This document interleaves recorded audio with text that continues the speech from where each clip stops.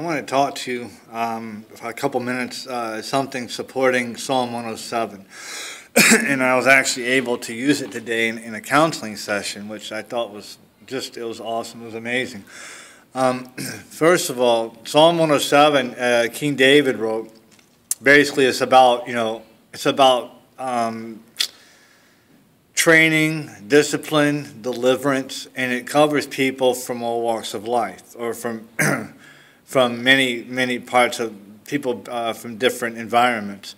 Um, mountains, uh, you know, the city, wilderness, um, and uh, people out at sea. Um, you can read it and see, uh, and, and whether they're being disciplined or trained, they're basically they're, they're going through all the same thing. They're going through various hardships, and to where they all have to call out for God, and God comes and delivers them.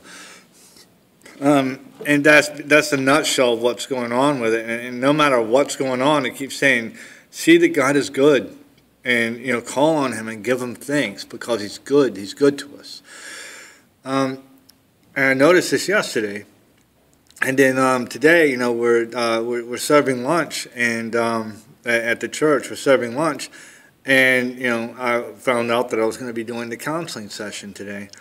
And I didn't think anyone was going to show up. I was like, oh, well. But then I ended up talking to one guy, and we came back here, and, um, and uh, you know, he, he's going through a, a pretty rough time, very, very rough time.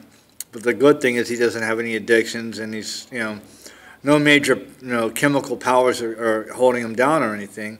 But he's having a severely, severely hard time with his work crew, and um, you know, not sure where he's going to be staying or anything. And he, he's like, man, I just, I don't understand what's going on here. I don't, I don't know, you know, why do I keep on ending up in the same situation over and over?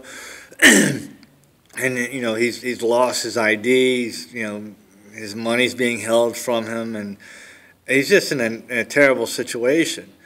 And there was a lot that happened during during the counseling. Um, you know, I talked to him because I, I know his situation. I've been in it before, so I was almost able to finish his sentences for him, and I had to keep on telling him, "Calm down, calm down. Just pay attention to this."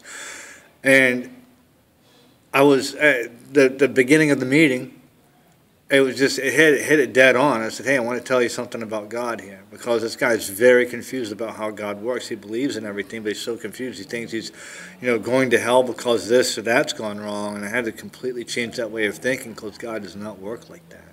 God is cool. You know, He's very, very cool, but He is God's way. He's not our way. Um, so I was able to read to him, you know, Psalm 107 very carefully, and he started understanding. He's like, I get it.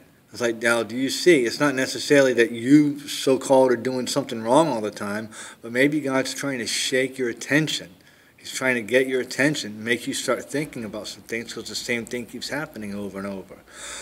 And that's what was going on in Psalm 107. So I, I'm, I'm blessed as, you know, I was able to, you know, at least touch, the Lord allowed me to touch one person and with my own experiences in life. So I, I knew what his mind was this guy, he's like, I mean, he's he's an out of towner, and he's like he's in his early 40s, and he basically has the maturity, the the the mental, the heart maturity of someone who's like 18 years old. He's very innocent. He doesn't know what's going on. He's very trusting, but you know, he's he's not in the best way of life, but he wants to be, and he's afraid of God.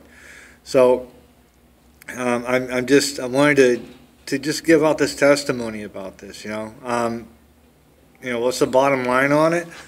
Uh, I don't know. Uh, just read read the psalm and you know just look for any opportunity. You never know when God's going to send an opportunity across your path, and maybe not ten people or twenty people, maybe just one person.